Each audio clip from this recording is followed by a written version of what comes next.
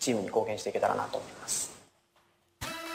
今週のニュースといえばやはりこの人。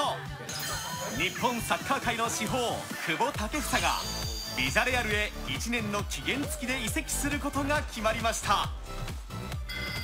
ビジャレアルは昨シーズン強豪ひしめくスペインリーグで5位となった勢いに乗るチーム。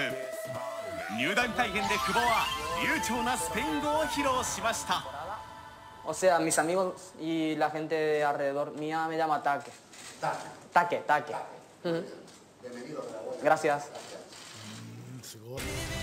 その翌日には初練習の様子が公開され土砂降りの中練習に励んだ久保